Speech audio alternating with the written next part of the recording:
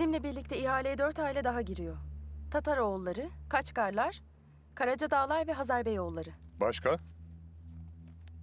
Bunlar zaten en büyükleri baba. En iyi teklifi veren alır. Birader, gel bu işten vazgeçelim. Amca öyle değil de belki başkalarıyla konsorsiyum oluşturabiliriz. Kızım, bizden başka bir dili daha bulabilirsen konsorsiyuma girecek. Ceketimi şuraya asar giderim. Beş yıllık ceketi bir asamadın şuraya abi. Tamam oğlum, bırakıp gideyim. Baba kız yürütün işte işleri.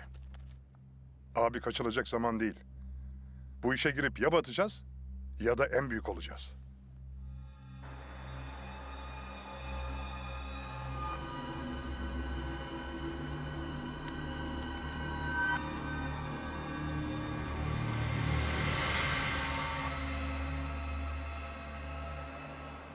Tamam. Biraz daha bakayım şunlara. Tamam amcacığım. İki dakikaya geleceğim ben de. Evladım Erol Bey'i bağlayın bana. Baba, ben finans durumuna baktım. Çok parlak değil. O cimri Erol senin gözünü korkutmuştur. Yok, korkudan değil. Adamın sağlamcı biliyorsun. E nakit sıkıntımızı da biliyorsun. Bu ihaleyi alırsak bir sıkıntımız kalmaz. Yeter ki ihaleye girebilelim. Girebilelim derken Yani şartlar oluşursa. şartname elimizde baba ne şartı? Kızım bu işler sadece kurallarla olmuyor.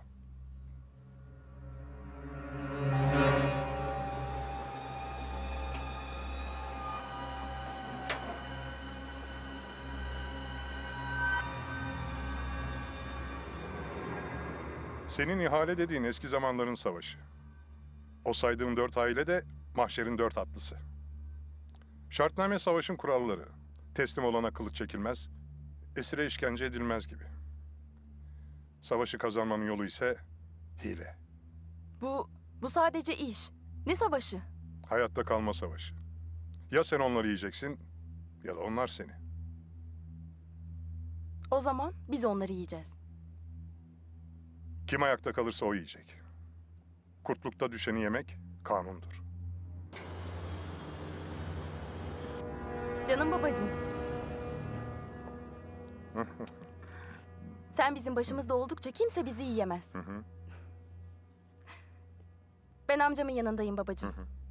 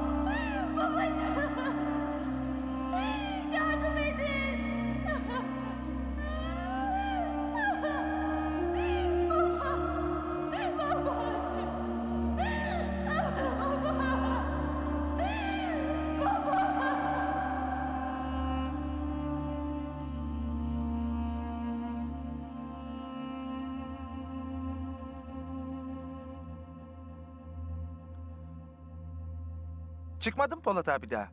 Çıksa benim burada ne işim var Erhan? Gidecek başka yerin var da sanki. Of of. Yine o kasetleri seyrediyor değil mi? Kaset değil oğlum. DVD. Boş beleş. Sanki bilmiyorum. Ödüm kopuyor abinin sağlığına bir şey olacak diye. Bir insan 40 gün boyunca suikast faili meçhul, suikast faili meçhul, suikast faili meçhul seyreder mi? Of. 31 Ocak 1990. Profesör Doktor Muammer Aksoy evinin önünde uğradığı silahlı saldırı sonucu öldürüldü. 24 Ocak 1993. Araştırmacı yazar Uğur Mumcu evinin önünde bombalı saldırı sonucu öldürüldü. 7 Mart 1990. Genel yayın yönetmeni Çetin Emeç arabasının içinde şoförüyle birlikte öldürüldü. 2 Temmuz 1993. Sivas'ta Madımak Oteli yakıldı, 35 kişi hayatını kaybetti. 17 Şubat 1993. Eski jandarma komutanı Eşref Bitlis'in uçağı teknik bir arızadan dolayı düştü. 17 Nisan 1993. 7. Cumhurbaşkanı Turgut Özal öldü. Resmi açıklama koşu bandında kalp krizi geçirdiği şeklindeydi. Merhum 1988'de parti kongresi sırasında suikastten kıl payı kurtulmuştu. 9 Ocak 1996. İş adamı Özdemir Sabancı ofisinde silahlı saldırıya uğradı. Suikaste 3 kişi öldü. 25 Ağustos 2001. İş adamı Üzeyir Gari, Eyüp Sultan kabristanında bıçaklanarak öldürüldü. 20 Kasım 2003. 5 gün arayla İstanbul'daki iki sinagog, HSBC Levent Şubesi ve İngiltere Büyükelçiliği binaları bombalı saldırılara uğradı. 4 eylemde toplam 61 kişi hayatını yitirdi. 21 Ekim 1999 sabahı siyaset bilimci Ahmet Taner Kışlalı evinin önünde bombalı bir suikastle öldürüldü.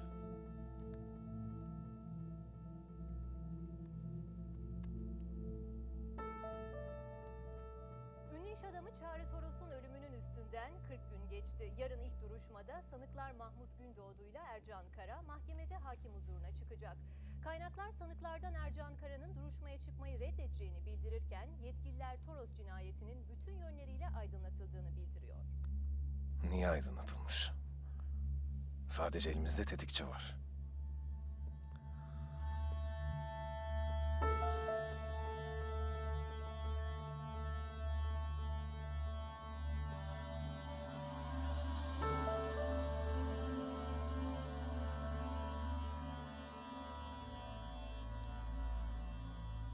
Sayın Başkan.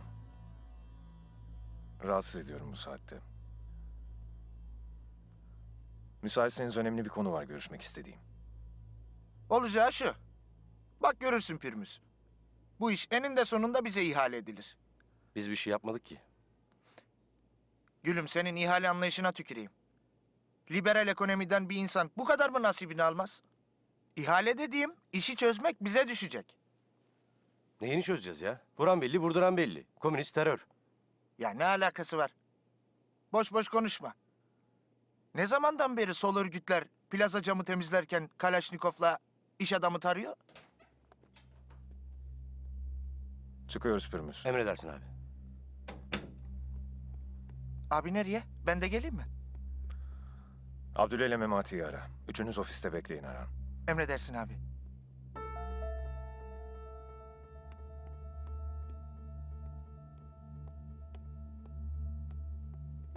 Hayırlı uğurlu olsun. Üç silahşörler sahalara döndü.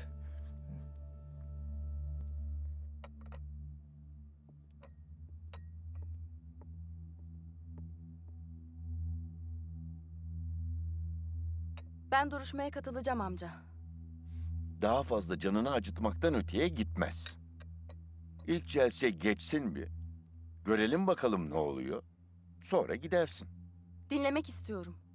Babamla ne alıp veremediği olduğunu öğrenmek istiyorum. Oraya gideceksin, daha çok üzüleceksin. Daha çok sinirlerin bozulacak. Bunlar katil. Normal insan değil ki dinleyesin. Üzülmeyeyim de ne yapayım? Benim babam kime ne kötülük yaptı? Benim babam aşağılık bir şekilde öldürülmeyi hak etmek için ne yaptı?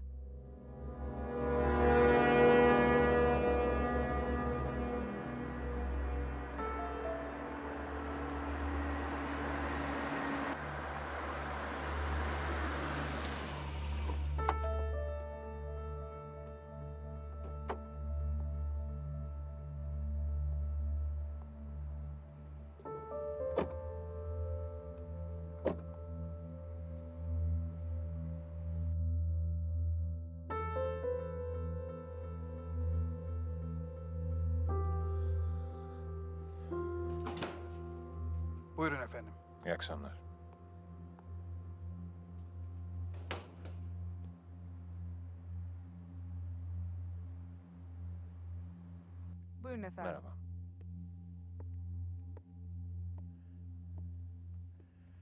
Hoş geldin. Hoş bulduk. Nasılsın? İyiyim. Teşekkür ederim bu saatte kabul ettiğiniz için. Estağfurullah. Önemli dedin.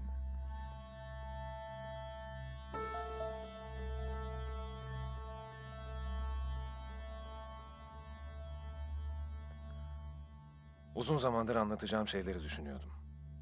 Malumunuz. Terör meselesine bir şekilde müdahil olmak istedim. Ama müsaade edilmedi. Müsaade edilmedi değil. Demek ki şartlar oluşmadı. Müdahil olmak istediğin konu 23 yıldır bu toprakların uğraştığı en önemli konu. Fikrimce 23 yıl süren bu sorun yarın bitirilse bunun en doğru analizini yapmak en az bu kadar zaman alır.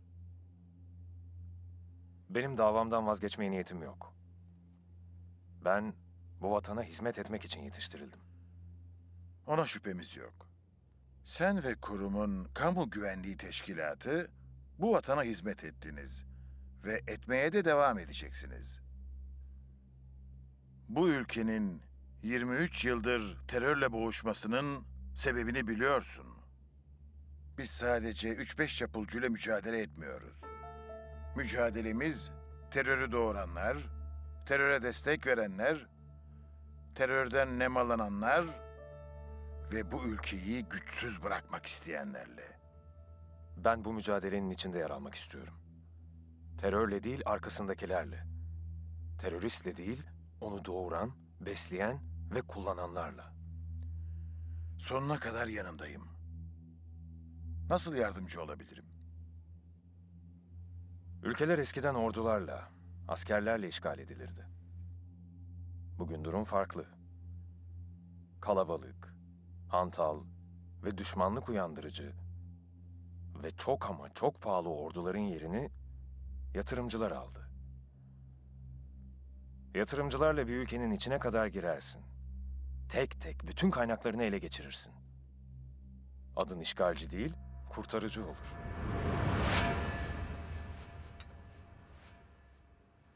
Amca, benim bilmediğim bir şey biliyor musun? Ne gibi kızım? Babamla senin, benim bilmediğim, girdiğiniz gizli bir iş, bir ilişki. Ne bileyim bir düşmanlık var mı? Yok kızım. Bizim ne gizli işimiz olacak? Peki bu sol örgüt bizden bir şey istedi de biz vermedik mi? Yok kızım. Bizden kim ne isteyecek canım? Örgütün ben de herkes kadar adını sanını bilirim ama nedir ne değildir bilmem. Sen bilmeden babamı tehdit etmiş olabilir mi? Benimle ilgili özellikle. Bize şu kadar para ver yoksa kızını kaçırırız diye. Yo. Bunlar servet düşmanı. Tehdit etmelerine gerek yok ki. Hem tehdit etseler biz de tedbirimizi alırdık. Rahat rahat gezmezdik. Peki o zaman kim ve neden babamı öldürttü? Benim kardeşim vatanını milletini seven bir iş adamıydı. Bu teröristler muhakkak ki yaptıkları işten memnundurlar. Ellerini buladıkları kanla övünüyorlardır. Bu tetikçileri kim tuttuysa eminim ki onlar bu vatanın ve milletin düşmanları. Adam doğruları söylüyor. Biz daha bu aileyi niye dinliyoruz ki? Belli ki bunlar bizim kafamızdan oldukları için kayıp vermişler. Dinlemenin birinci şartı. Yorum yapmayacaksın. Sadece dinleyeceksin. Son 20 yılda cereyan eden bütün toplumsal olay, suikast ve önemli faili meçhul cinayetleri inceledim. Her biri bu ülkede bir şeylerin seyrini değiştirdi. Geçtiğimiz ay bu zincire yeni bir halka daha eklendi. Çağrı Toros.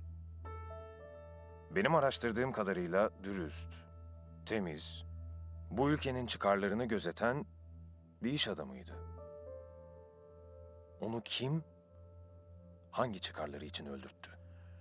Araştırıyoruz.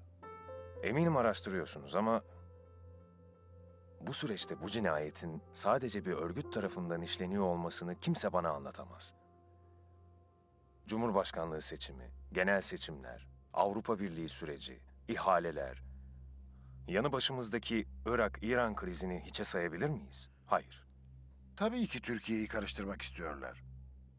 Ama ben sana şu şuna hazırlıyor. Bu bunun için öldürttü diyebilecek durumda değilim. Bu suikastı araştırmamı KGT'nin görev alanında değerlendirmenizi istiyorum. Kurum senin, görev senin. Tetikçiyi sorgulamak istiyorum. İşte o senin görev alanında değil. Sizin görev alanınızda. Ve bana bunu sağlayabilirsiniz. İmkansız. Çok önemli. Sadece yarım saat istiyorum. Polat Alemdar. Adam cezaevinde. Seni hangi sıfatla içeri sokayım da tetikçiyi sorgulatayım? Ben ona gidemiyorsam o bana gelir. Vallahi bilmiyorum abi. Bana söylediği izinler iptal. Operasyona giriyoruz. Ne izni lan? Buna Gündoğdu yine. Ne operasyonuymuş? Ne demek ne operasyonu Abdül? Boşuna mı seyrediyor o kadar kaseti? Erhan. Abi sana ne dedi sen onu söyle bakalım. Memati ile Abdül'e gelsin dedi. Bir de ben eder üç.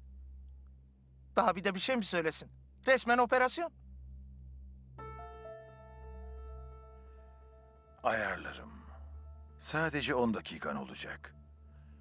Eğer bu ortaya çıkarsa ya da yakalanırsanız bir şekilde...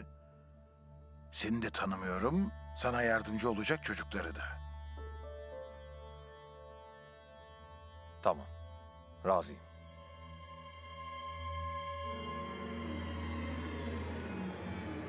Teşekkür ederim.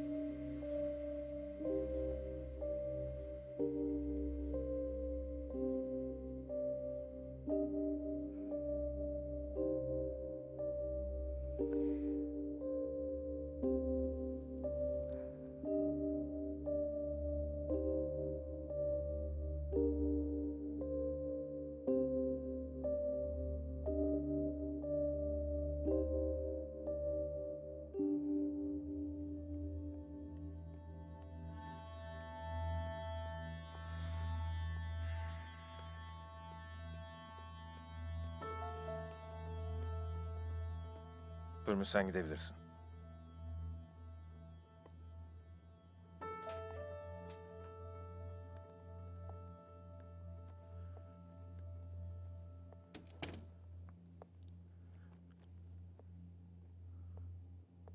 Usta bu sefer kimle savaşıyoruz?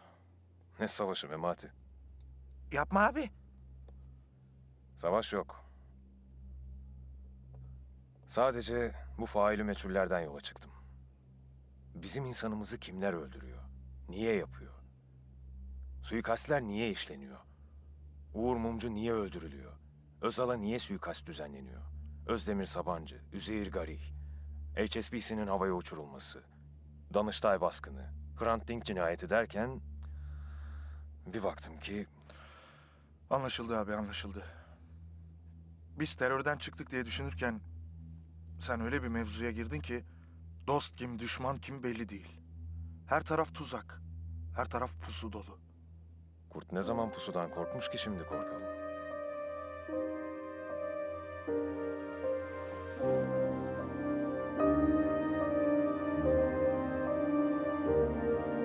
Tutuklu sanık Mahmut Gündoğdu getirildiği görülmekle sanık kelepçesiz olarak huzura alındı. Ve diğer sanık Ercan Kara'nın gelmediği görüldü açık duruşmaya başlandı. Tutuklu sanığın kimliğinin tespitine geçildi. Sanık Mahmut Gündoğdu. Baba adın. Ahmet.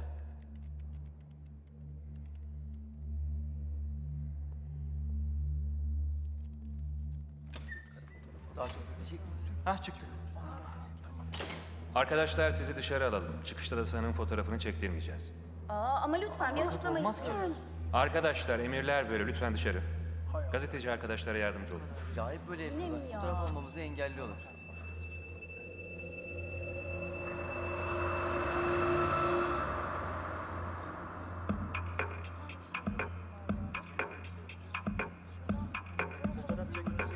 Komutanım, sanık ring aracına bindirilirken fotoğraf alalım hiç değilse. Arkadaşım. Mümkün değil. Şartları zorlamayın, zorlaştırmayın. Lütfen.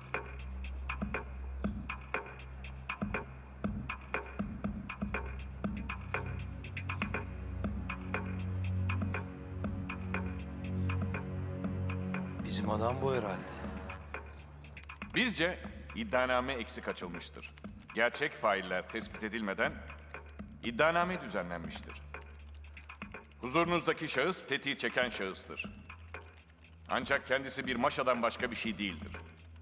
Mahkemenin görevi olayı bütün unsurlarıyla aydınlatıp maddi gerçeği bulmaktır.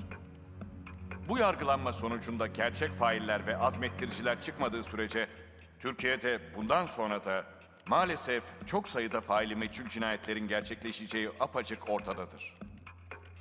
Biz sanığın ve sanığın ardındaki esas faillerin cezalandırılmasını Yüce Mahkeme'den talep ediyoruz. Başka bir şey var mı? Yok efendim. Ben bir şey sorabilir miyim efendim? E, Sayın Başkan, herhalde müvekkilimin ekleyecekleri var. Nedir? Sen babamın sesini duydun mu hayatında? Ömründe bir kelime ettin mi? Konuştun mu? Tanıdın mı? Hayır. Ama ifadende babamın ne kadar öldürülmeyi hak ettiğini, toplum düşmanı olduğunu anlattın. Bir insan hem öldürülüp hem de mahkum edilir mi? Böyle aşağılık bir şey olur mu? Kızım, burası mahkeme salonu. Konuşmalarına dikkat et. Özür dilerim. Ama bunu tanımlayacak başka bir şey bulamıyorum. Bir insan, bir insanın canına kıyıp bir de bununla övünüyorsa buna ne demeli? En büyük yalan birilerini öldürüp bunu ülke için, vatan için, yurt için devrim yaptığını söylemek değil mi? Sen bu vatan için, bu millet için, hadi onu da geç. Kendi ailen için, annen baban için, varsa çocukların için ne yaptın? Haklısın. Hiçbir şey yapmamışım. Seni de öldürseydim tam bir şey yapmış olacaktım. Kes sesini.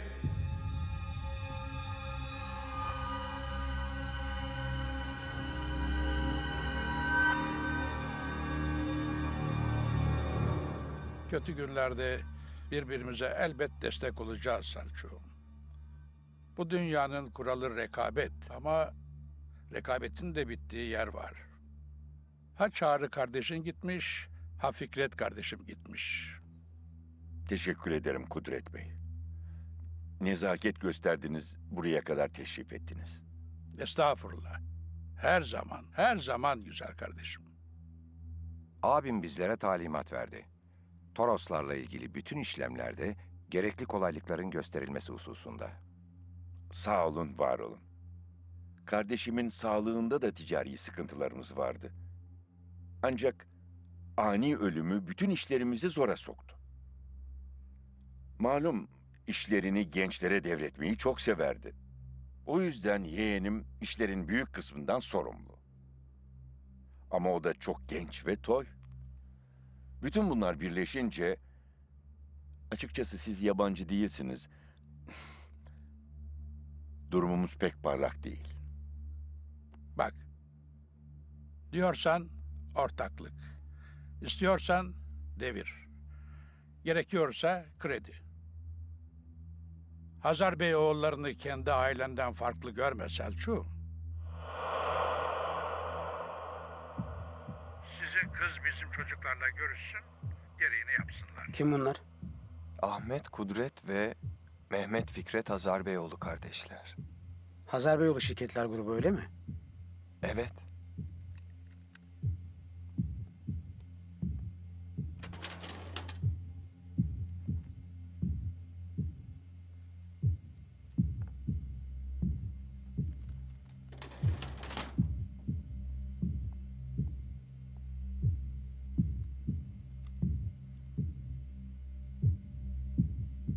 Tekstil ve turizm karteli aile. Doğal gaz işinde de tekel.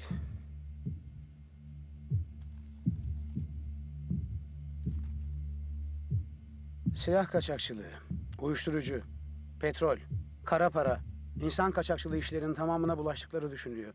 Tahmini servetleri resmi ve gayri resmi rakamlarla 50 milyar dolar. Ailenin reisi Kudret Bey.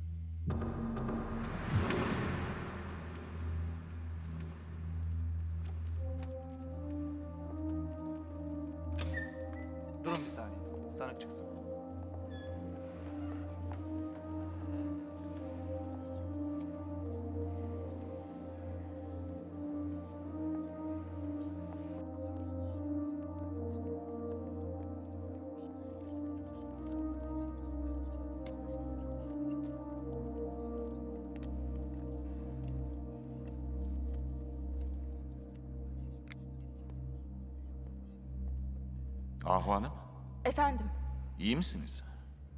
iyiyim. Gidelim değil mi? Gidelim efendim.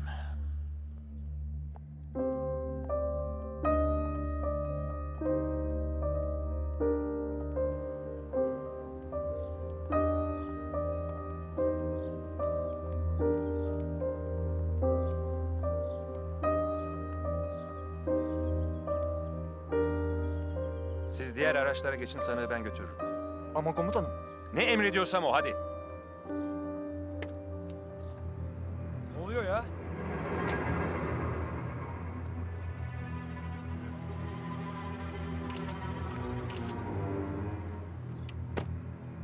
Ne oluyor? Kes lan sesini yürü.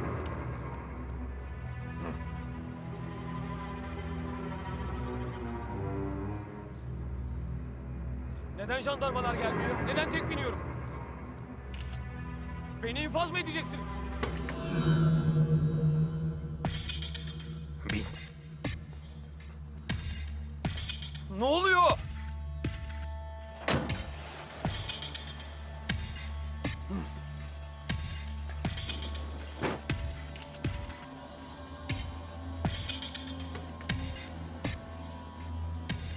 Büyük balık yakaladık.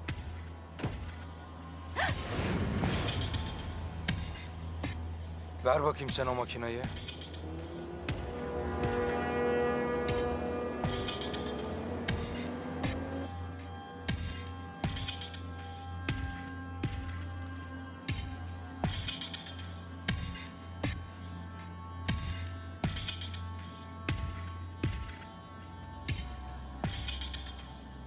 Beni öldürmeye mi geldin? Sorularıma cevap verirsen sana bir şey yapmayacağım.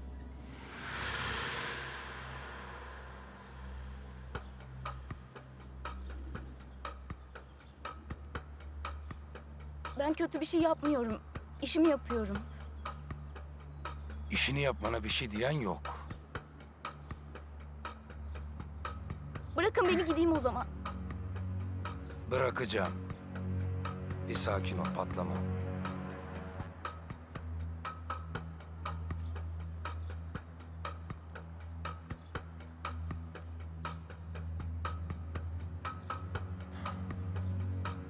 Bak gülüm. Sen beni görmedin, ben seni görmedim. Sen bu resimleri çekmedin, ben bunları silmedim. Sen beni tanımazsın, ben de seni tanımam.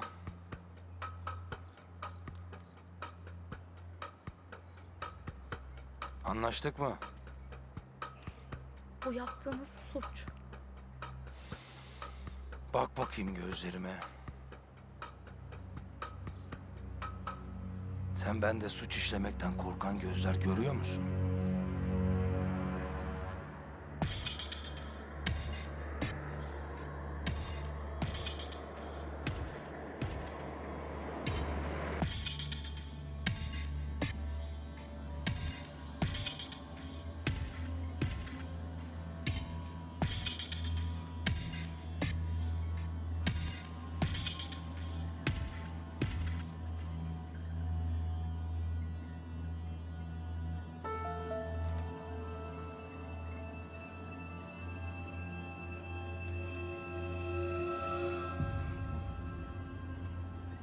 Öldürme emrini kimden aldın? Cinayeti bilerek ve isteyerek devrimci yurtseverler adına kendim işledim. Emri kimden aldın? Seninle işbirliği yapmayacağım. Sen plazanın yolunu mu bilirsin Angut? Kalkmış bir de devrimci jargon döktürüyor. Gün gelecek, sizin gibi işbirlikçilerden de hesap sorulacak. Sıra sizde. Seni gebertirim.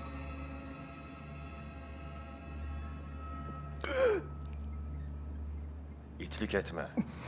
Adam gibi sorularıma cevap ver. Emri kimden aldın?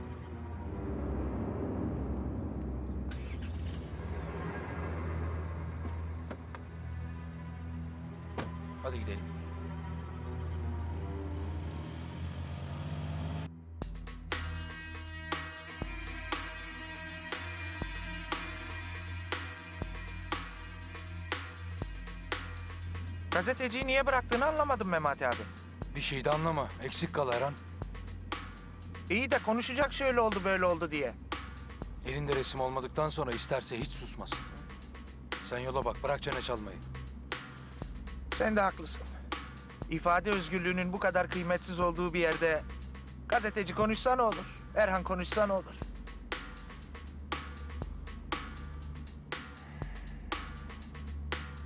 Peki abi bu tetikçinin sevgilisi örgütten niye kaçmış?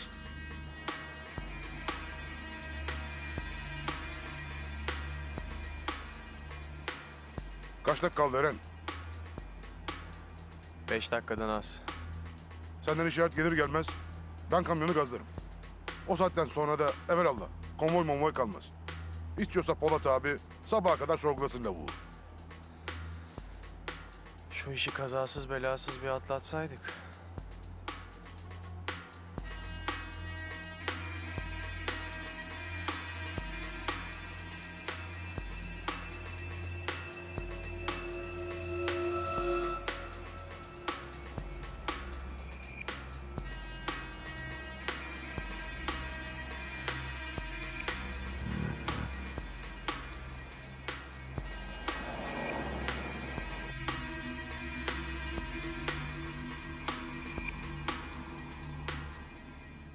Ercan niye duruşmaya gelmedi?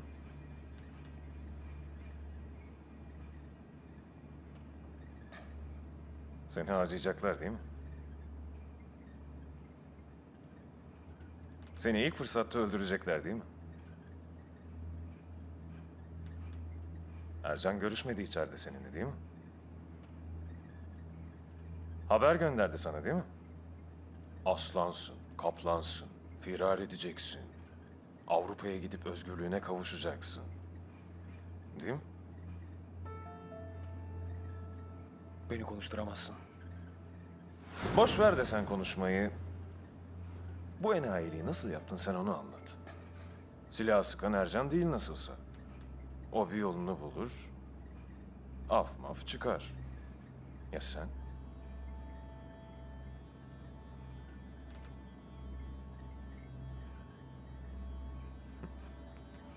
Sen zaten burada benimle görüştün ya. Bittin.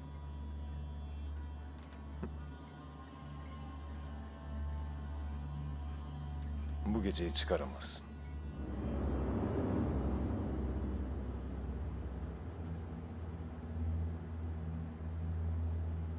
Diğerlerine söyle böyle bir şey yaşanmadı. Her şey aramızda kalacak. Tamam mı? Emredersin komutanım. Sevgilin nerede? Benim sevgilim yok. Tabii. Örgüt içinde sevgili olur mu? O zaman nerede kalır her şeyi feda etme? Kendinden vazgeçme. Dayanamadın değil mi Selvi'ye? Abayı yaktın değil mi? O aslında seni baştan çıkardı ama ne yaparsın? Gönül işte. O yüzden kahramanlık yapmaya kalktın değil mi? Selvi'nin hayatını kurtarmak için. Kıza da dedin ki ikimizi de öldürürler. Ben Toros'u vuracağım. Sonra ikimiz Avrupa'ya kaçacağız. Öyle mi? Yalan. Ercan işi çözdü. Senin gibi korkak ben tetiği çekerim dediğinde çözdü işi.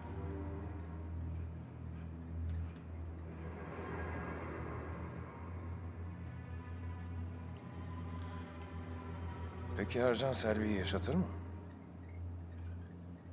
Seni yaşatır mı?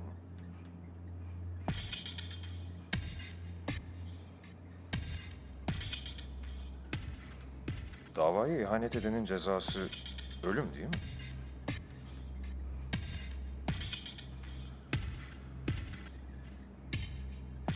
Kız hamile değil mi?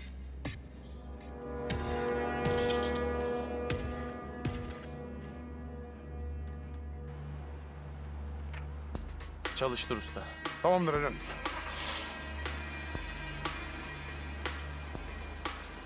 Memati abi biz hazırız. Hadi koçum. Bir sıkıntı istemiyorum.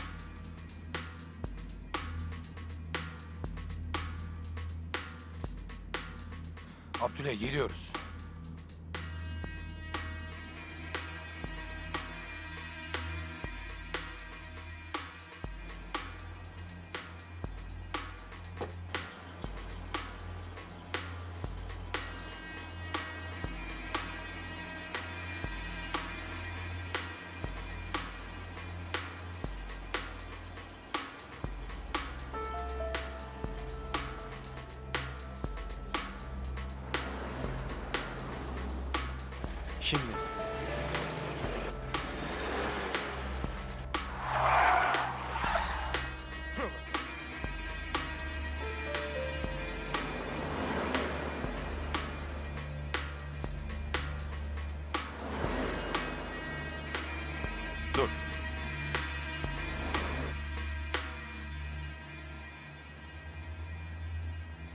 Anons et öndekilere devam etsin. Devam edebilirsiniz.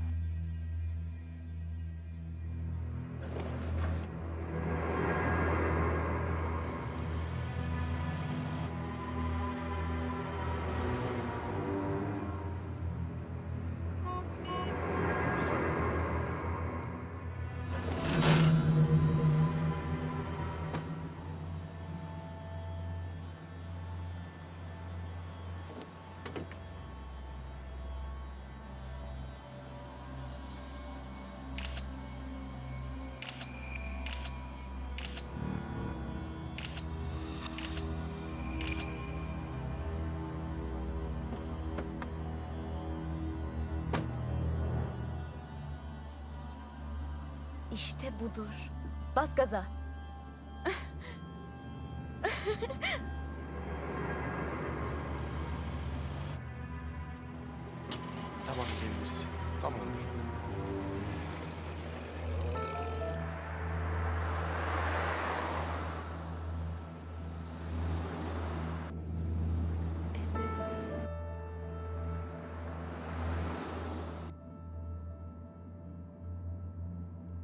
Abi, konuştu mu adam?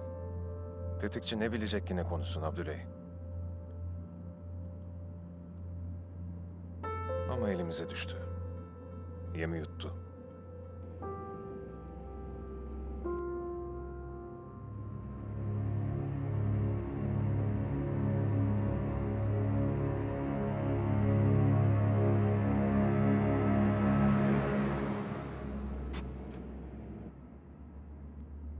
Ne işi var?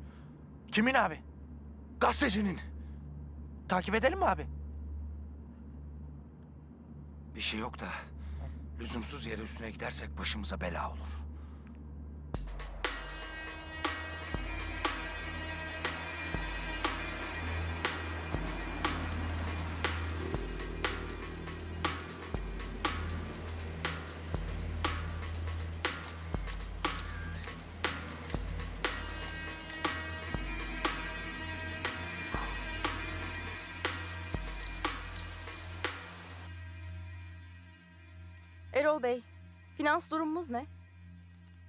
Benim karanlık tablo çizmemi sevmediğinizi biliyorum Ahu Hanım. Ama bu sefer inanın ben bir şey çizmiyorum. Tablo çok karanlık. Fransa'dan beklediğimiz kredi ne aşamada? Askıda. Tahmin ediyorum babanızın vefatından sonra şartları yeniden gözden geçiriyorlar. Bir şey çıkacağını zannetmiyorum. Gürcistan'daki alacaklarımız? Yeni bir erteleme istediler. Bastıramıyor muyuz? Rusya'daki hukuk bürosuyla temasa geçtim. Bastırmamızı tavsiye etmiyorlar. Neden? Doğu bloğunda işler hukuktan çok ikili ilişkilerle yürüyor Ahu Hanım. Malumunuz. Sanki batıda farklı.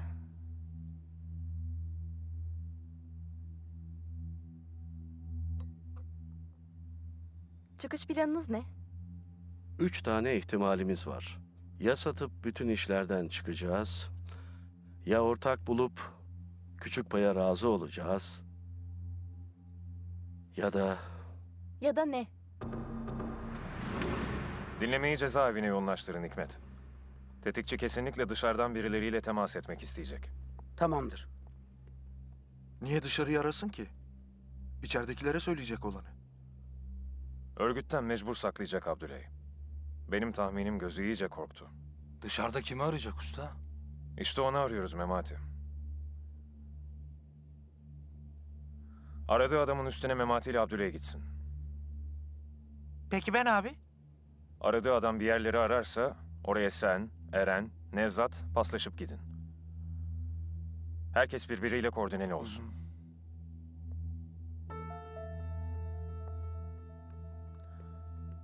Tuncay bugün çıkıyordu değil mi? Evet usta. Ben almaya gideceğim. Hikmet. Tuncay'ın yapısı biraz farklı. Hastaneden de yeni çıkıyor. Yani Gitme çok üstüne. Bana çok lazım. deli deliyi görünce çomağını saklar. Sen merak etme.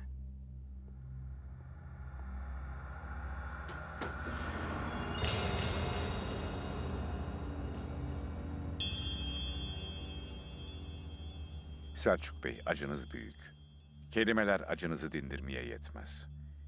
Ancak böyle zamanda dostluklar belki bu acıları bir parça olsun hafifletir. Eksik olmayın. Durumunuz biraz sıkıntıda diye duydum. Belki kuracağımız ortaklık bu sıkıntıyı bertaraf eder. Sağlık sektöründeki en büyük şirketler grubuyuz. Hastanelerinize yapacağımız ortaklık teklifini bir jest olarak değerlendirmenizi arzu ediyorum. Ziyaretinizle bizleri şereflendirmekle birlikte rahmetli kardeşimin ruhunu da şad ettiniz. Lakin Turan Bey, bizim hastanelerimiz kar amacından çok ihtiyaç sahiplerine hizmet etmek amacıyla kuruldu.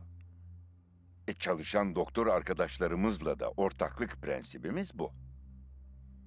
Zaman farklı bir zaman Selçuk Bey. Uçaklarda ne diyorlar? Oksijen maskelerini önce kendinize, sonra çocuğunuza takın. Bugün ihtiyaç sahibi olan siz değil Müsaade edin maskeyi takalım, bir oksijen alın. Sonrasını sonra değerlendiririz. Adamın Türk olduğuna bin şahit ister. Hitler Almanya'sında bile böylesini zor bulursun. Kaçkar ailesi böyle efendim. Sizin notlarınızdan okudum. Bir aile hem medikal hem inşaat hem de kumarhane işinde aynı anda olur mu? Daha enerjisi, medyası var. Silah var. Nereden baksan 35-40 milyar dolarda parası var.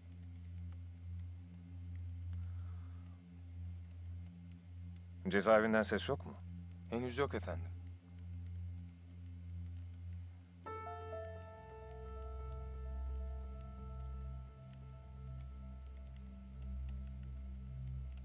Kız ne yapıyor? Toros mu? Toros. Evde, toplantıda. Diğer kulaklığı versene.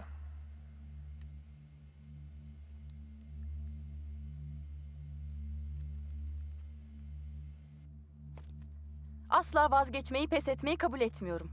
Siz bilirsiniz. Ama bir hafta içinde 50 milyon dolar sıcak para girmezse zaten alternatiflerimiz otomatik olarak ikiye düşer. Sadece evim o kadar para eder. O babanız ölmeden önceydi Ahu Hanım. O ne demek? Bugün biz ipotek için başvursak evinize verecekleri değer 10 milyon dolar. O da verirlerse. 50 milyon dolardan bir kuruş aşağıya satmam. Zaten satmam da satacak olsam. O zaman parayı nereden bulacağız? Amcamın yok mudur parası? Amcanızın her şeyi ipotekli. Yurt dışında parası varsa da yengeniz, affedersiniz, zırnık koklatmaz. Jüli de benim yengem değil. Yengem öldü. Ayrıca borç bu, hibe değil ki. Ev konusunda ciddi misiniz? Yani vazgeçmektense her şeyden satarım daha iyi. Ama piyasada bu kredimizi çok hızlı tüketir. Evlerini satıyorlar. Battı bunlar derler. Sanki demiyorlar da Uygar Bey. Demelerinden ziyade bu delil olur. Üç liralık malımız bire düşer. Benim umurumda değil kim ne dedi, ne yaptı, ne düşündü. Ben ölsem de davamdan vazgeçmem. Bu yolda değil evimi, gerekirse her şeyi satarım da yine dönmem. Benim bu kıza yardım etmem lazım. İşitemedim efendim. O yüzden birlikte çalışıyoruz Tamer. Neyi işitmemen gerektiğini bildiğin için.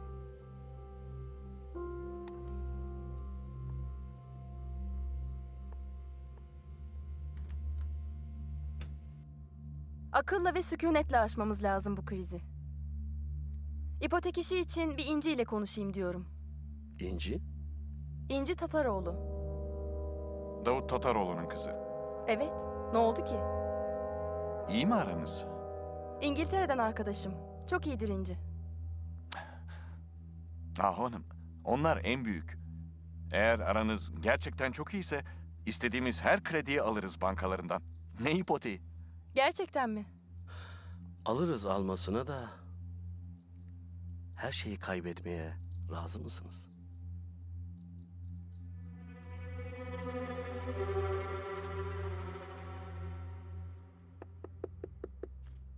Gel.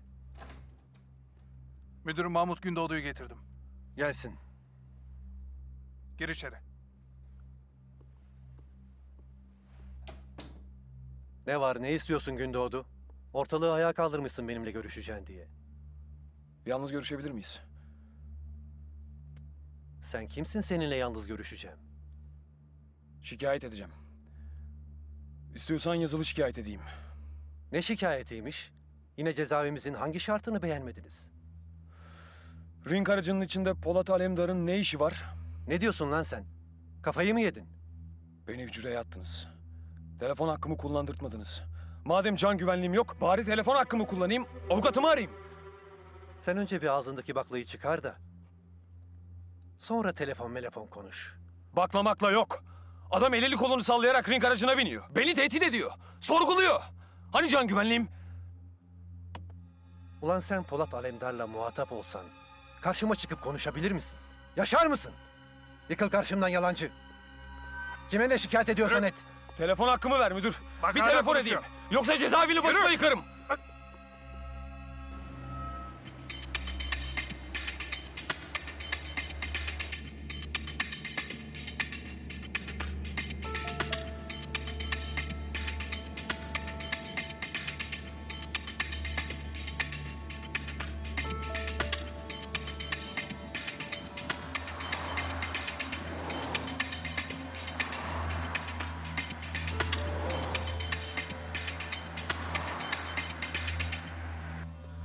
Tataroğlu istesin, bizim sıkıntılarımız üç saniyede biter.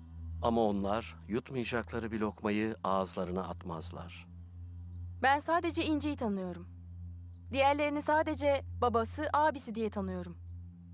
Davut Tataroğlu, bu ülkede sizin ismini duyduğunuz bütün iş adamlarından daha zengin ve güçlü bir adam. En büyük gücü ise hiç ortada olmaması. 60 milyar doların üstünde parası olduğu konuşuluyor. Öyle bir para dünyada kimsede yok. Bırakın Türkiye'yi. Nereye yok? Siz bakmayın Forbes'un listelerine.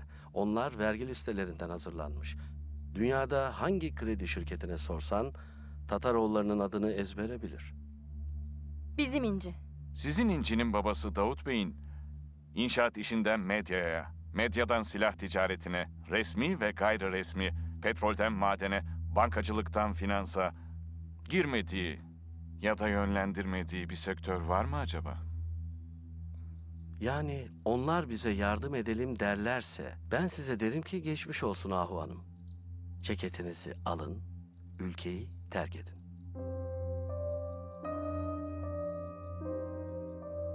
Geçelim. Toroslara ne yaptınız? Davut Bey, şirketin yönetimi Çağrı'nın kızında. Selçuk ne yapıyor? O işlere çok karışmıyor. Yeşil gözlü kız değil miydi o? Benim arkadaşım Ahu. Çok akıllı, iyi bir kızdır. Akıllıysa anlaşırız. Madem senin arkadaşın, madem zor günleri destek olalım. Hazar Bey oğulları inşaat şirketlerine göz koymuş durumda. Kaçkarlar hastanelerine, Karaca Dağlar'da gayrimenkullerine. Kaçkarlar hastaneye alır. Ne yapar eder alır. Biz Torosları desteklersek Hazar Bey yolları hiçbir şey alamaz. Karaca Dağlar'a gelince Arsaları çok kıymetli. Kaptırırsak ileride büyük pişman oluruz. 60 yıl geçti. Hiç pişman olduğum olmadı damat. Bak, kızım bile sana verdim pişman olmadım. Niye güvendim sana? Yalçın'ın kardeşisin de ondan. Demek ki güvenince insan en kıymetlisini bile verir. İnci, arkadaşına sahip çık. Yazıktır. Babasını kaybetmiş. Sen nasıl istersen baba. Kız bana aşıktı. Hiç olmayan oldu mu? Olmadı.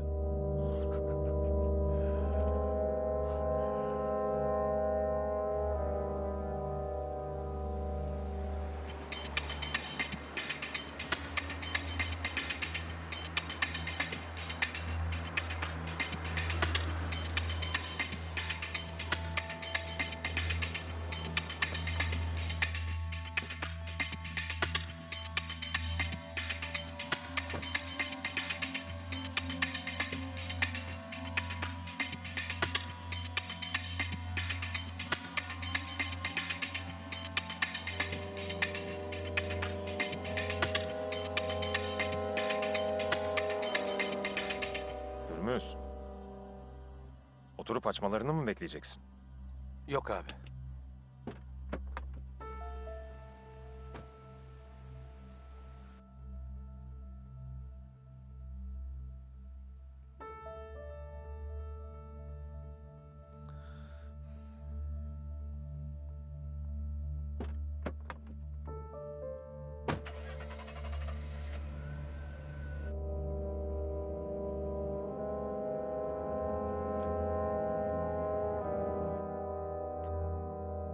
Bizim onların hastanelerine ihtiyacımız yok ki Turan. Boşuna para kaybı. Öyle değil karıcığım. Bu bir savaş. Madem herkes onların bir şeyine çökecek, bizim de bir şeylerini almamız lazım. İyi de neden? Gücünü nerede deneyeceksin ki?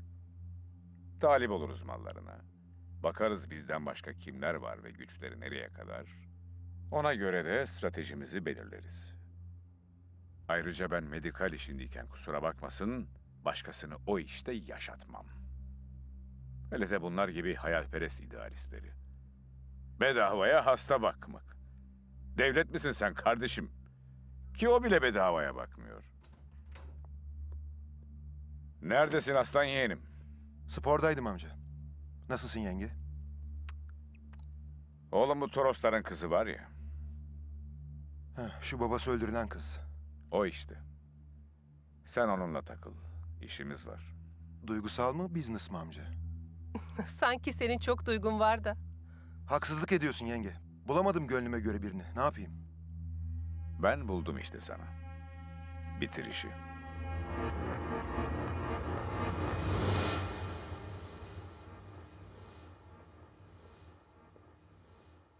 Ahu Hanım, misafiriniz var. Misafir beklemiyorum. Sizinle görüşmek istiyormuş efendim. Kim görüşecekmiş? Polat Alemdar.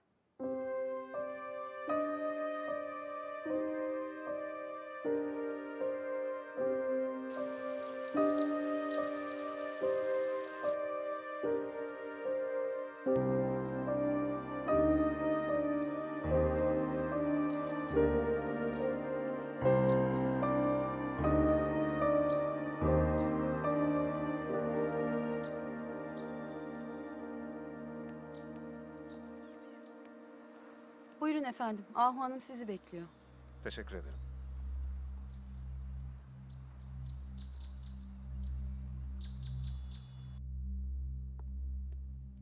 Buyurun.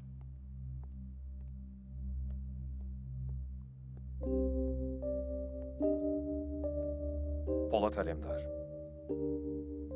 Ahu, Memnun oldum. beni görmek istemişsiniz. Öncelikle başsağlığı dilemek isterim. Teşekkür ederim. Acınızı içtenlikle paylaşıyorum.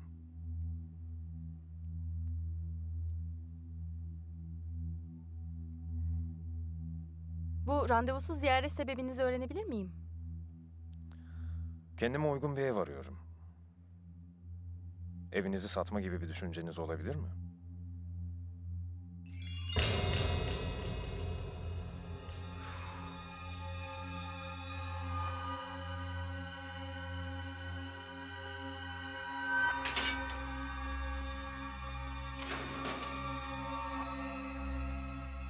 Müdür bey terbiyesizliğini bu seferlik affetti. Telefon açabilirsin.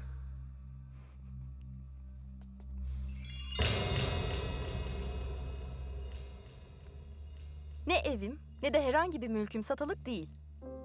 Ben satılık mı demedim. Böyle bir düşünceniz var mı diye sordum. Hayır yok. Pardon ama böyle bir düşüncem olabileceği kanaatine nereden vardınız? Böyle bir kanaatim de yok. Sadece sormak istedim. Hayır, birinden bir şey mi duydunuz? Biri size benim evimi satabileceğimi mi söyledi? Öyle bir düşünceniz yoksa bunu bana kim söylemiş olabilir ki? Affedersiniz. Sizi tanımıyorum. Ama karşıma çıkmış bana evinizi satar mısınız diyorsunuz. Biraz tuhaf değil mi? Ben satar mısınız da demedim. Satacak olursanız talibim dedim. Bir dakika, bir dakika. Ben sizin evinize gelsem, böyle bir şey desem, siz ne dersiniz? Ne ikram edebilirim derim. Hayır. Size bir şey ikram etmeyeceğim. Ben size bana bir şey ikram edin demedim ki. Ama yaptığınız ayıp. Bakın Ahu Hanım. Ben sözüme acınızı paylaştığımı söyleyerek başladım. Ama siz sözümü kesip bana ne istiyorsunuz dediniz. Bu ilk ayıbınız. İkinci ayıbınız sizden bir şey isteyeceğimi düşünmeniz. Yani beni tüccar olarak, hatta kabacasını söyleyeyim, mafya olarak görmeniz. Oysa beni tanımıyorsunuz bile. Ben öyle bir şey demedim. Üçüncüsü, ön yargınızın üstüne tuğlalar koyup bir duvar inşa etmeniz. Niyetini bilmediğiniz bir insanı ayıplamanız. Sizi daha fazla incitmek istemem ama belki de sadece buraya sizin yanınızda olduğunu söylemek için gelmiş bir adama görüntünüz, aileniz ve tahmin edebileceğim eğitiminiz üzere davranmadınız. Beni yanlış anladınız. Siz beni yanlış anladınız.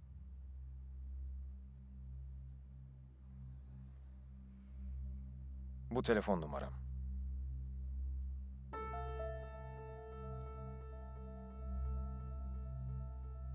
Evinizi satmaya karar verirseniz arayabilirsiniz.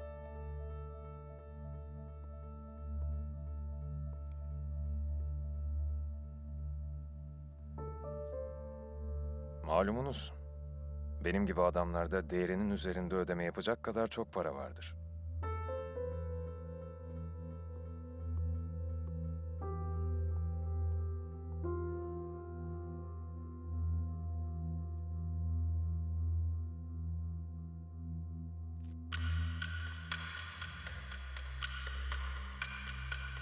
Kim çekmiş fotoğrafları?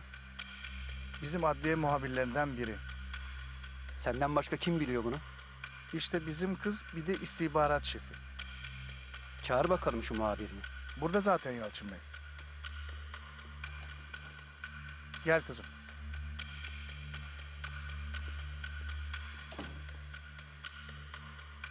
Sen mi çektin bunları? Evet efendim. Kim seni tehdit etti? Polat Alemdar'ın sağ kolu Memati Baş. Kimseye söyledin mi bunları çektiğini? Hayır efendim, söylemedim. Sadece şefim, müdürüm ve siz. Gazetede görene kadar kimseye bir şey söyleme kızım. Teşekkürler, çıkabilirsiniz.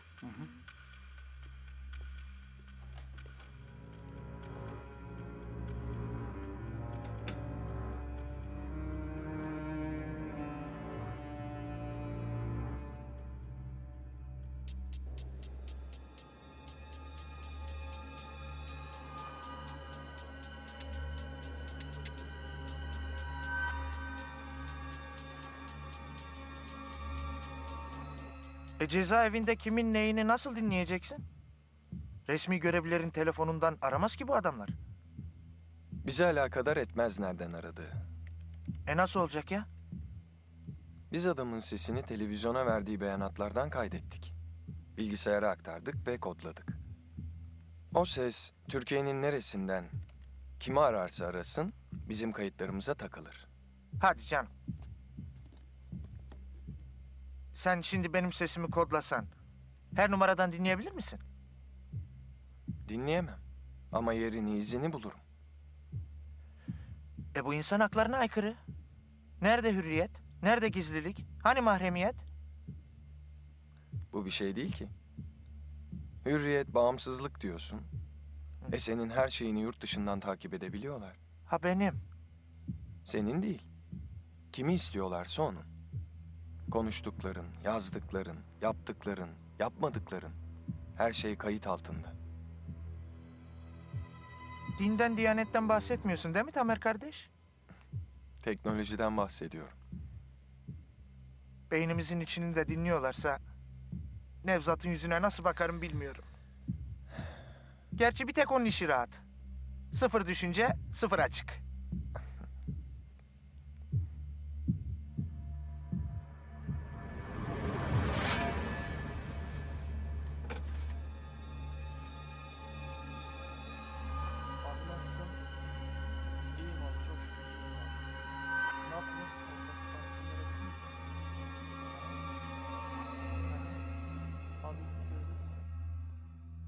Efendim müsait misiniz?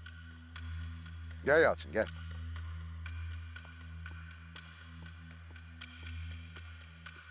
Efendim çocuklar enteresan bir şey çekmişler. Bana getirdi yayın müdürü. Ben de size göstermek istedim.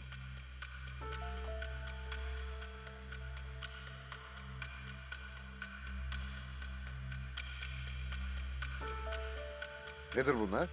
Çağrı Toros işinin tetikçisini cezaevine götürürlerken Polat Alemdar ziyaret etmiş belli ki.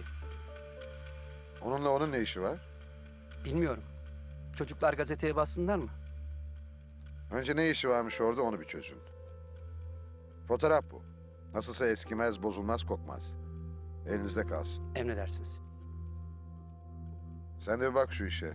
Neymiş, neyin nesiymiş. Nereden sarmış bu işi anlamadık ki. Allah Allah. Canım benim. Gelemedim sana kusura bakma. Aradın yayıncı. Nasılsın? Nasıl oldun? Kötüyüm. Nasıl olayım? Her geçen günde daha kötü oluyorum. Çok zor ya. Babamı kaybetsem çıldırırdım herhalde. Sen yine güçlüsün.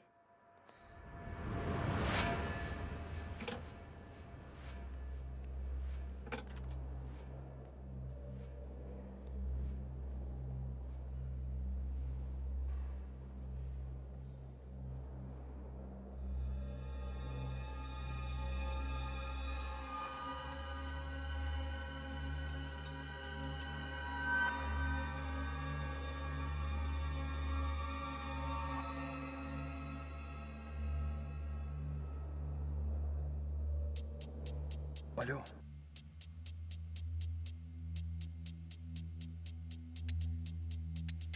Bu ne işe yarıyor?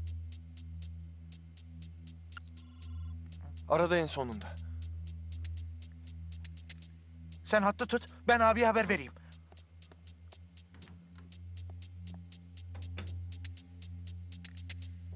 Polat Alemdar diyorum.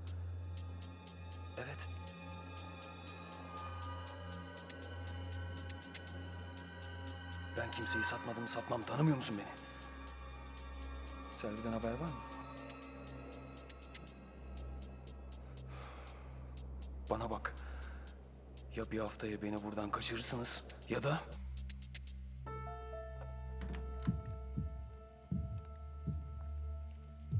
Aradığı yerin adresi.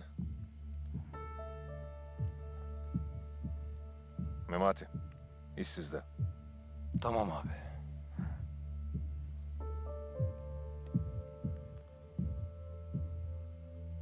Aradığı evi de takibe aldın mı?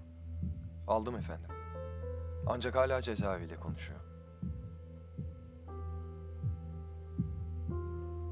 Erhan, söyle Eren'e arabayı hazırlasın. Çıkacaksınız. Tamam abi.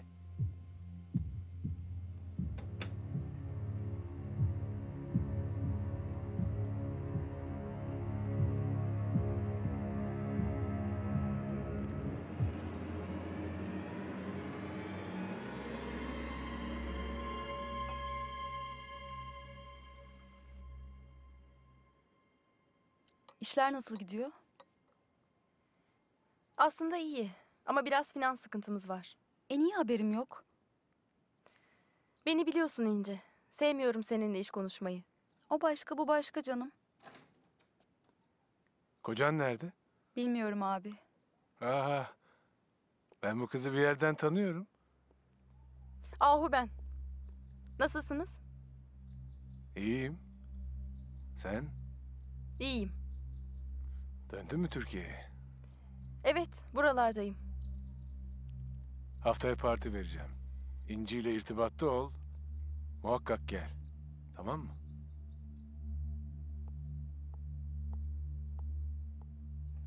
Abin hiç değişmemiş. Her zamanki gibi kıl.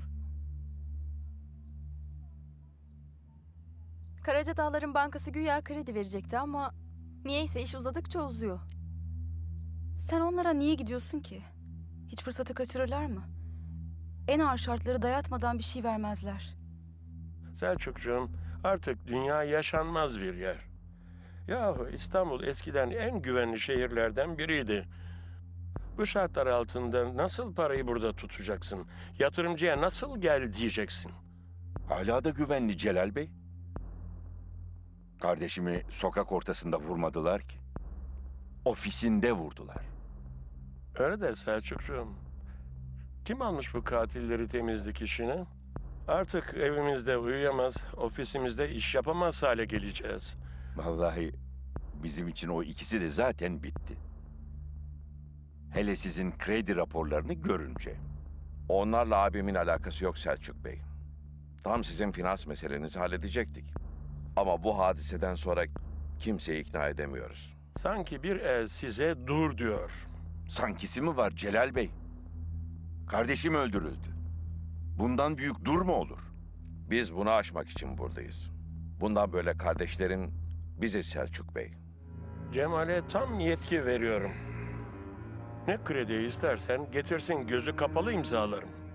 Sağ olun, var olun. Ayaklarınıza sağlık.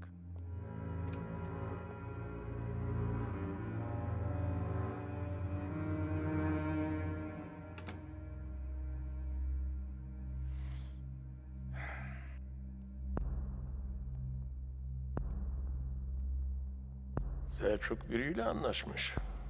Bu kadar rahat olsun mümkün değil. Kiminle diyorsun? Kiminle olacak? Sibirya kurduna kendini kaptırmış.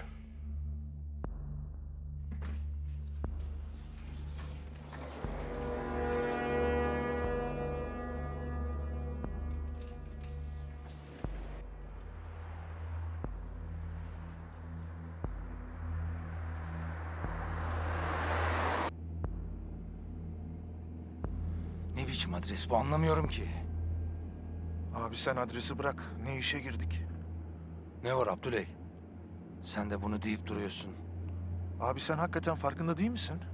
Ya Abdüley, bu saatten sonra kuru yemiş işine giremeyeceğimiz aşikar. Ne gele gele. Sağdan dön.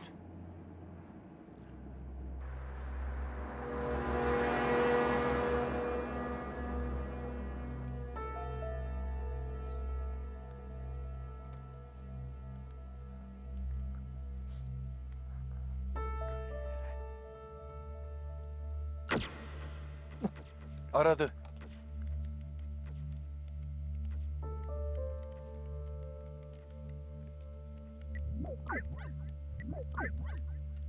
Adres yazıyor mu adres? Bir dur Erhan.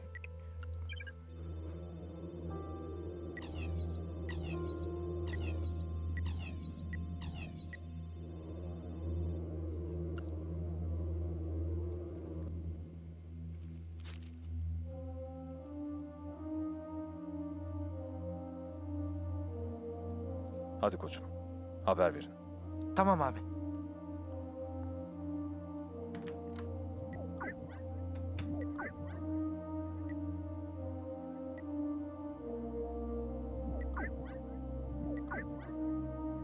Bu da birilerini arayacak.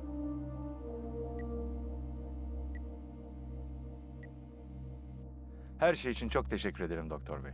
Sağlığımı ve ikinci ömrümü sizlere borçluyum. Estağfurullah. Ne zaman başınız sıkışsa gelin diyeceğim ama Ah, Allah korusun.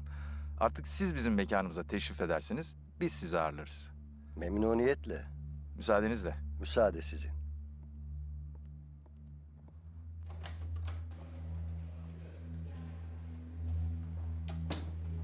Evet Hüsnü Bey kardeşim. Vakit ayrılık vaktidir. Size burada hizmet edebildiysem ne mutlu bana. Hizmet ne kelime rica ederim. Ben burada sizin bir kardeşliğinizi, bir dostluğunuzu, bir mesai arkadaşlığınızı gördüm. Hakkınız ödenmez. Büyüklerimizden böyle sözler bizi ölsem de gam yemem noktasına getiriyor.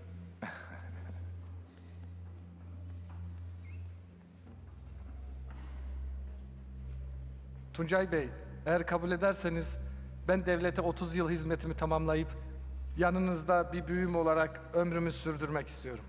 Gerçekten mi? Tabii kabul ederseniz. Gerçekten çok mesut olurum. Allah biliyor. Buradan kurtulmak bir tarafa, sizden ayrılmak bir tarafa. Hakikaten beni çok mutlu edersiniz. O zaman emekliliğinizi alır almaz bekliyorum. Ben aldım bile emekliliğimi. Artık sağlık memuru Hüsnü Yalın Kılıç sizin memurunuz. Emrinizdeyim.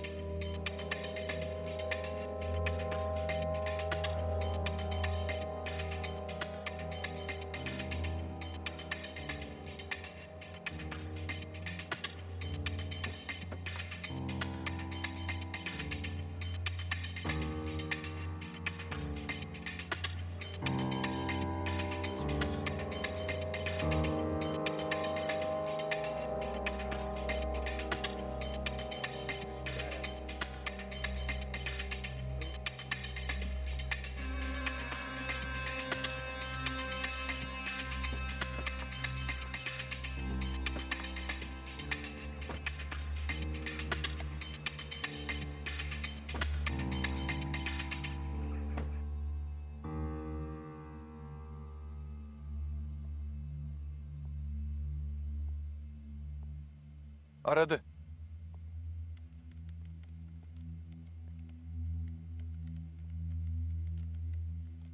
Aranılan numara...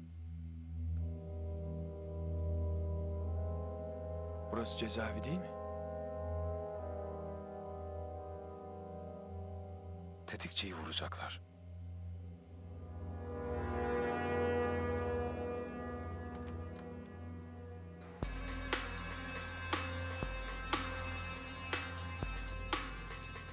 Lan Eren oğlum. Her şeyini takip ediyorlar diyorum. Sen sağa mı sola mı diyorsun? Abi ne tarafa döneceğiz buradan? Sola dedik, sola.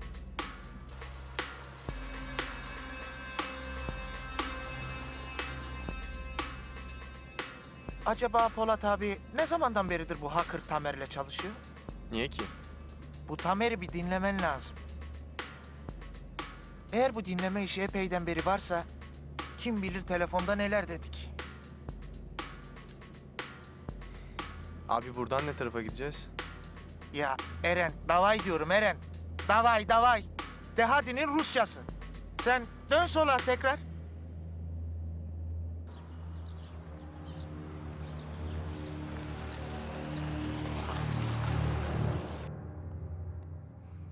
İnsan bir sağ olasın der. Git müdürün desin. İnsanlık sorduğuma bak.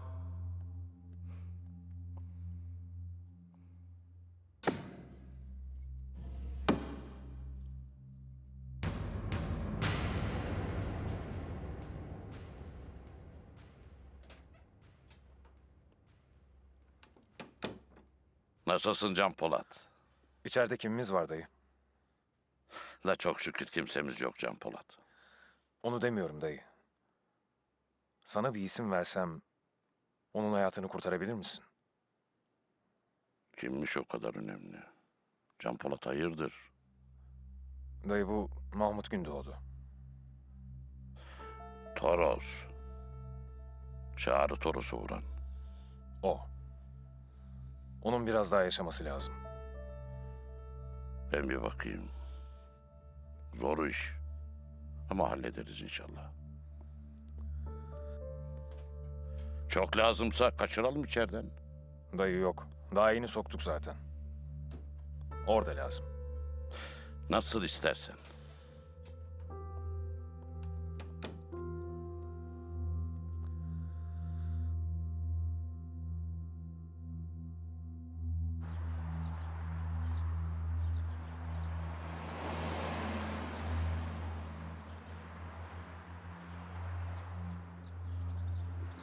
Abi, burada öyle biri olmadığı gibi burası bizim takip edebileceğimiz cinsten bir yer değil. Hem üzüldüm hem sevindim. Sevindiğim Hacker Tamer kardeşin yanılmış olması. Demek ki teknolojinin de bilemediği şeyler varmış. Alo. Bize yanlış adres vermişsin kardeş. Eren not al. Yeni yer mi burası? Yaz adam yer değiştiriyormuş sürekli.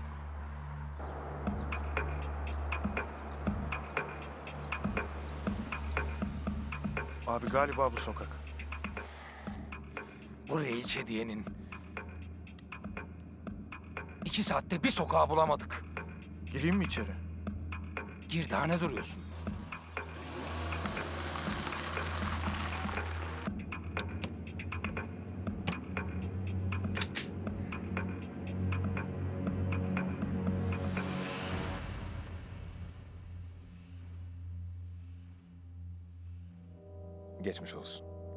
Şükür geçti.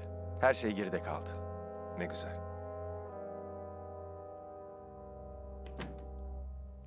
Hizmetinizdeyim. Estağfurullah.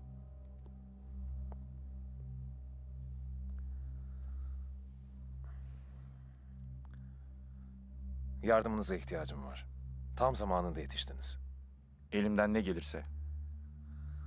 80'li yıllarda bürokrattınız. Özellikle 80'lerin sonunda, 90'ların başında ard arda cereyan eden faili meçhullerle ve suikastlerle ilgili ne biliyorsanız anlatmanızı istiyorum. Özel olarak merak ettiğiniz bir olay var mı? Özal suikasti.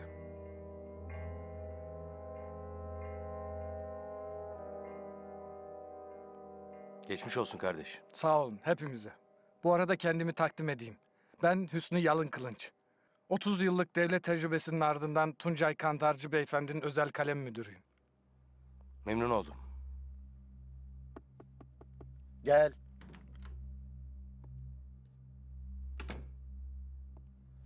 Sayın Başhekimim, Sıhhiyeci Hüsnü kayıp. Nasıl kayıp? Dışarı bile çıkmayan adam. Kayıp efendim, hiçbir yerde yok. Gelir gelir. Nereye gidecek deli Hüsnü? O dışarıda bir gece bile geçiremez.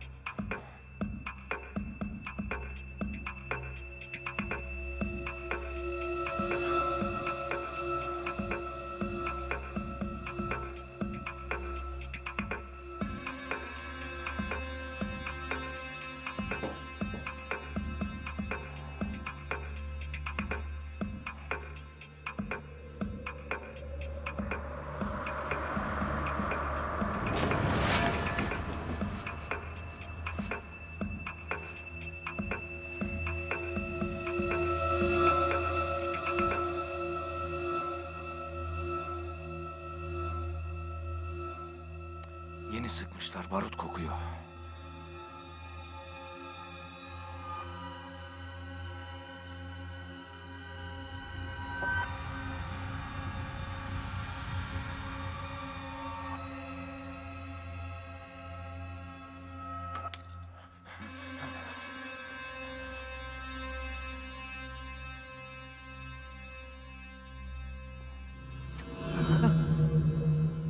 Abdü ne yapıyorsun? Sizin ne işiniz var burada? Siz mi sıktınız Eren? Yok abi biz daha yeni geldik.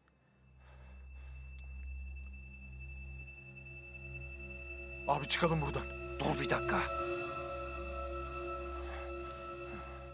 Rahmetli Özal 1980'lerde Türkiye'yi dış dünyaya entegre etmek için uğraşıyordu. Türk parasının convertible olması, dövizin serbest bırakılması, ihracatın teşvik edilmesi bazı kesimleri rahatsız etti. Özal'ın bu projesi Türkiye'nin 90'larda özellikle Avrasya bazlı dışa açılma politikasının temeliydi.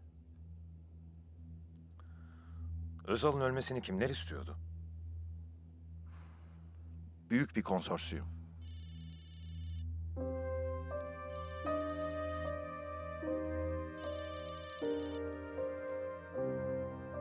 Ne yaptınız Memati?